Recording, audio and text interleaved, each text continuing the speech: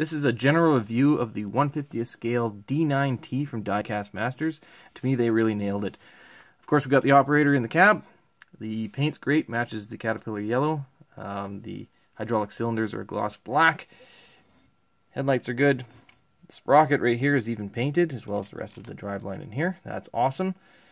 The blade, it would have been nice if there was holes through here, but that's okay. Of course, the blade goes up and down. Same thing with the Ripper. The uh, handrails right here are rigid on both sides, like so. Now one of my favorite parts on this is the hydraulic hoses.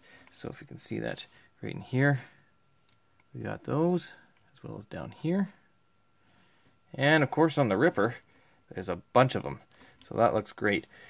Uh, as for the how it compares in size with the other dozers, we'll bring in the D10 and we'll bring in the D8.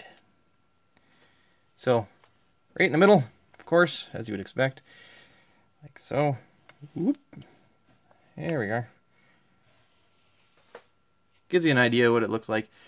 Um, overall, though, I would have to say this ranks right near the top, if not at the top, for my favorite dozer.